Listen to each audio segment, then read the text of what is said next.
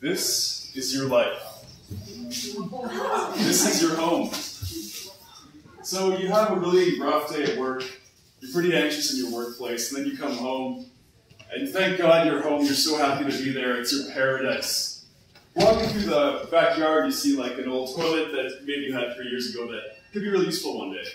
And maybe you see a whole bunch of newspapers that are out over the grass at your home. You go through the hallway and you see these big mountains of beautiful possessions that you've accumulated over such a long period of time, your collection. People see a mess, people see a threat to the security of the city. You see comfort personified, manifested. Every object has a story. Every object is an extension of your memories. Every object is you externalized. So, what is hoarding? Hoarding is defined as the compulsive and the excessive accumulation of things, or in some cases, animals. It may include things that others consider not worth keeping, which could be flyers from 50 years ago. It could be coupons that have long since expired, or unworn clothes that you will probably never wear. There could be parts of the home that become totally unusable, like a bed that you can't even sleep on, or a kitchen table and a stove that are covered in various things. So then you eat from McDonald's every day to get by in your own home. It could also result in, in you or your family being at serious risks. There could be risks of fires. Maybe you come home and there's flooding out of your bathroom again because there's so many things in there that it's hard to, to get in there. And yes, there's black mold, but if you light incense, you won't smell it as much because it comes from the couch that's infested with the rats that you don't want to deal with because that couch belongs to your grandmother. And if you get rid of that, you lose that part of yourself. Why do people hoard? It could be a lot of different things. We know that there's a lot of evidence for a strong genetic factor. It runs in families, whether genetically and biologically or psychologically. We know that people with trauma or abuse in, that cause them to have a sense of a loss of control often develop this if they have those genetic predispositions. There could be cases where maybe you were pulled out of a home environment when you were very young and you were dropped somewhere else. And within that environment, some people turn to hyper cleanliness to get by, and you turn to building a structure around you where you feel safe. It could be materialism within your culture that's telling you it's Black Friday, it's Cyber Monday, you can be happy. So fill up your house, right? Hoarding is pleasurable. We all know that. How many of us bought stuff this past weekend? It feels great for a little while. And it's painful to throw things out. I've got books from my high school years under my bed right now that I, I look at once every 10 years. there could be cognitive challenges. We know that people with hoarding disorder often have trouble organizing themselves. They have trouble making priorities and, and following through those things. They're more likely to have ADHD. They have attentional problems very often. So even to make a plan to how they're going to declutter is very difficult to focus on. And like we said, there can be this genetic component. If you talk to them, they'll tell you very good reasons for why they hoard. They don't do it because they have these strange delusions. They think they might need things in the future. Who of us doesn't think that? They have plans for the objects. They might never realize them, but you know, I've got these pins and needles here that if I ever can get some fabric, I'm going to sew with these, though. They believe the objects represent opportunities that can't be passed up. Who of us doesn't want to maximize their freedom? We're just like them. They're just like us. They don't want to waste things. We don't want to waste things. They're afraid of making the wrong decisions. Who isn't? That's all of us before we came to McGill, right? and maybe while we're still here. so feelings of safety, security, and control. These things they're embodied in objects for them. They are not within themselves. They can look at their security. It's not within me, it's there. So if you want to get rid of that, you're going to come in as a social worker and tell me to get rid of my home base. You're going to take away my fortress. You're going to take away my security. You're going to erase my memories. Why should I listen to you? They want to keep people from visiting sometimes because they're so anxious about being around family members. They want to find their identity stabilized. I mean, our identities are fluctuating all the time. Our thoughts, our feelings, our memories. You're a different person one second ago than you are now. Don't you want to stabilize that? They do. They're just like us. In the DSM 4, there was no such thing as hoarding disorder. They thought it was a symptom of obsessive compulsive personality disorder.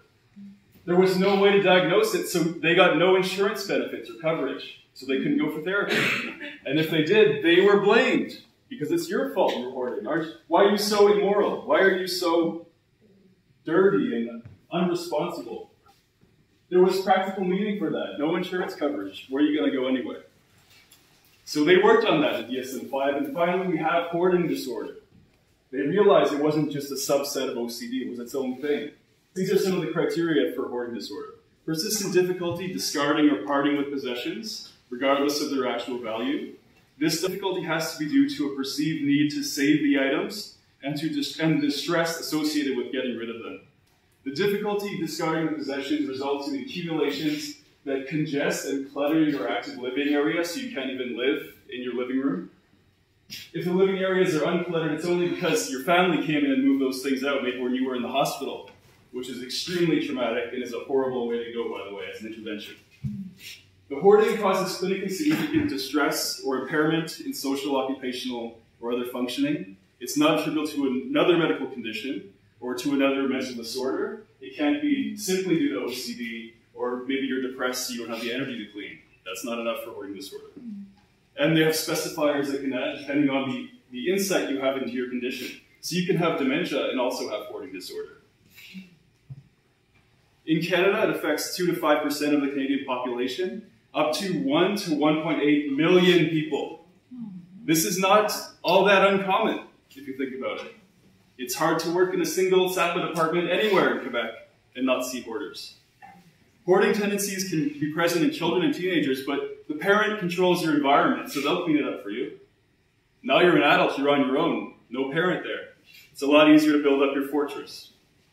Much more common in female identified people, we're not sure why, but it's the same thing with agoraphobia. The average agoraphobic is around a 50 year old woman who was often widowed a few years before. But it also affects male identified people and non binary people as well. The impact on the client is huge. They can experience shame, fear of letting others into their home. They can face real threats of eviction from landlords. Often, and often they go through a cycle. They'll clean it up when the person comes by. When they leave, they get it back as it was, and then a surprise visit will get them evicted.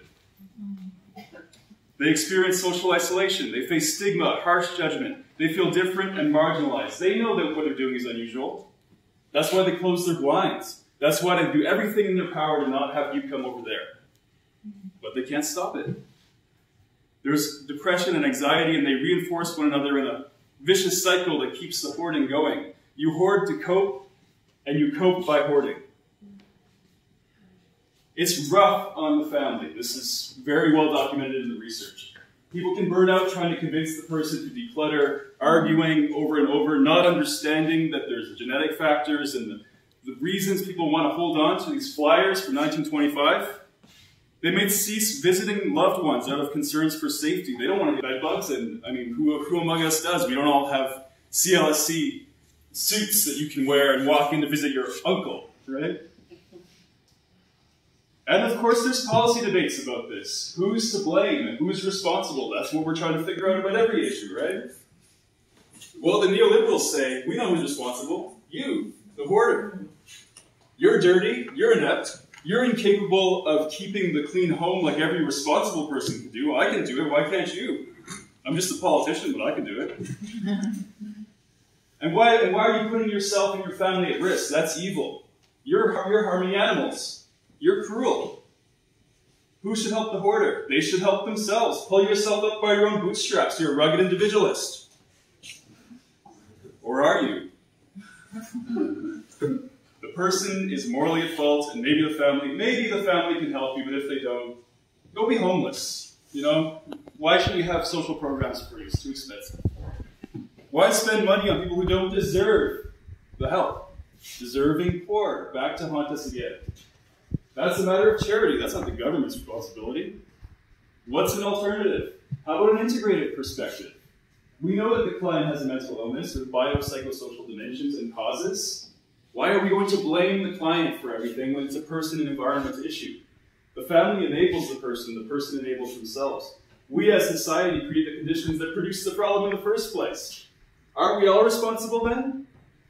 Why is it all the person who has to do everything? But if the individual is not on board, the train can't leave the station. So, as we know in social work all the time, you've got a whole bunch of intervention ideas that are really great. But if the client doesn't want it, what are you going to do? There's local and community policies. Resources for hoarding are not available in all CSs in Montreal, even less so in rural and northern regions of Quebec, forget about it. Many mental health programs consider people with hoarding disorder ineligible because it's a personality disorder problem. We don't treat people with personality disorders. They're working off the DSM-4. They haven't even looked at the DSM-5 yet. Maybe qualified for having other issues. So unless you as the worker can say, oh, they have schizophrenia, they have depression, they have things you guys actually treat. Let's not even talk about the hoarding. Let's just talk about that, and that's how we write our referrals, right? Sneak them in through their own eligibility criteria. Stigma of hoarding disorder is extremely common as the disorder is not well understood. We see this all the time. It was brutal to work in a CHSLD with a hoarder. She had no power whatsoever. They took all her stuff out of her room. They destroyed her things. What could she do? She was getting rats in the facility. She was a threat. So the hoarding is very powerful. And what about the beautiful Quebec and Canadian policy on hoarding? Which? There's no clear Quebec or Canadian policy at all. I looked through these documents and searched for the word hoarder or hoarding disorder. Not even a single mention of the Plan d'Action en Santé Mentale. Advancing the mental health strategy for Canada, framework for action. Why should we talk about hoarders? That's not a mental health issue. Uh, yes it is. so what are we going to do, social workers? Micro level. Well, this is what we do every day at the CLSC. Advocate for services with the service providers who will often exclude the person by default, so you have to make the case. So again, play their game. If anxiety and depression and schizophrenia and adjustment disorder are covered, that's what you write in the referral. Advocate with the authorities. The courts want to make this a legal problem. Document your clients' homes after each little step they make of an improvement, so you can bring those photos to court and prove that there's progress. Landlords want to evict. Oh, they really do. No landlord wants a hoarder, and if they knew you were a hoarder, they wouldn't have let you in in the first place. So we need to use Educadroit to check the tenancy resources, check the laws, make sure what they're doing is legal. At the meso level, we have to advocate with and psychoeducate with the families because they often don't understand what the person is going through. Explain the nature of the mental illness and correct the misconceptions. And here are some strategies we can use with families. Encourage them to support their loved ones to get help, but in a way that's like, how can I be helpful? Is there anything I can do to help? Let me know. Praise your loved one or just express gratitude for a small change. Thank you for doing that. Getting rid of that one newspaper, that really meant a lot to me.